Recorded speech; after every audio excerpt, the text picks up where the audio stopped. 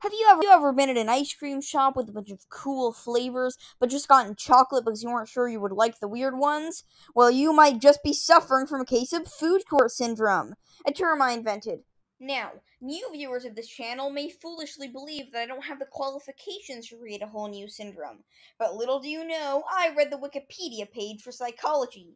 Also, I have practical experience in psychology because I have a human brain. Food court syndrome is what happens when you're presented with many choices, but always end up picking what you know and like because of the fear of not knowing if you'll like the other things. Like in a food court, with somewhere you already know and like, and some other places that look good but you have no idea about. Other cases of this include when you have to choose what game slash movie slash book slash whatever to read slash play slash watch slash whatever. When you need to choose what toppings to get on a pizza. Well, in my case, I don't get any, but Food court syndrome is very common, and that's because it makes a lot of mathematical sense. Let's say that the place in the food court you know is an 8 out of 10. In order to make it worth it, the new place would have to be higher than 8. But the chances of that are 20%, so it makes logical sense to stick to the place you like. Now, the chances of the place being below 4 might be pretty low. So let's say the chances of that happening are half of what I said. Now, this makes the odds of the place being better 30%. This still doesn't make logical sense. These are just examples. There are plenty of other probabilities. So, how do you beat food court syndrome?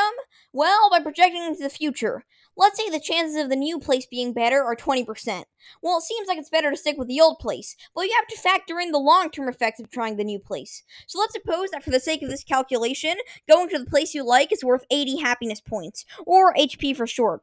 If the new place is 9 out of 10, it's worth 90 HP. If it's 6, 60, so on. On average, trying the new place will be worth 55 HP. But now you factor in the long term effect.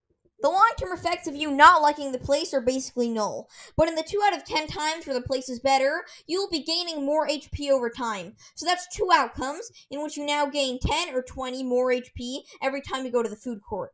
In order to make up for the lost 35 HP, you'll need 35 new HP. The average between 10 and 20 is 15. 15 times 3 is 45. So you need to go to the food court thrice to get more HP than you would lose. Let's say you go once per month. That's 3 months to get more HP. But we have to divide this by 5 because this is only 2 out of 10 possible futures. So we divide that 45 by 5 and you get 9. 9 times 4 is 36, which means that over a course of a year, you will statistically make up for the lost HP. And thus, in the long term, trying the new place makes sense.